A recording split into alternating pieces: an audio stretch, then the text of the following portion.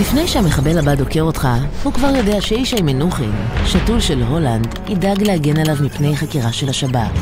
המחבל גם יודע שאבנר גבריהו, שתול של גרמניה, יקרא לחייל שינסה לסכל את הפיגוע פושע מלחמה. הוא גם יודע שסיגי בן ארי, שתולה של ממשלת נורבגיה, תגן עליו בבית המשפט. לפני שהמחבל הבא דוקר אותך, הוא כבר יודע שחגי אלעד, שתול של האיחוד האירופי, יקרא לישראל פושעת מלחמה. חגי, ישי, אבנר וסיגי הם ישראלים. הם גרים כאן איתנו, והם שתולים. כשאנחנו נלחמים בטרור, הם נלחמים בנו. חוק השתולים יכול להוציא אותם אל מחוץ לחוק. חיתמו עליו